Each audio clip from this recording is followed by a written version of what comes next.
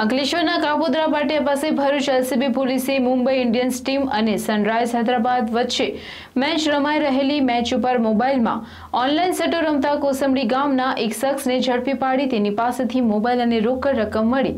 કુલ રૂપિયા એકત્રીસ હજારનો મુદ્દામાલ કબજે કરી વધુ તપાસ હાથ ધરી છે.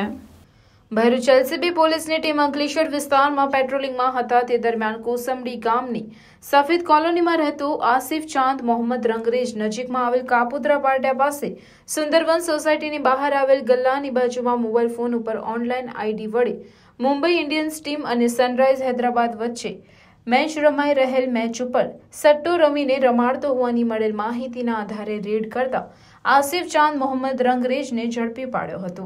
એલસીબી પોલીસે તેની પાસેથી એક મોબાઈલ અને રોકડ રકમ મળી કુલ એકત્રીસ હજારનો મુદ્દામાલ કબજે કરી તેની વિરુદ્ધ અંકલેશ્વર જાડેસી પોલીસ મથકમાં ફરિયાદ નોંધાવી હતી. પોલીસે ગુનો નોંધી વધુ તપાસ હાથ ધરી છે.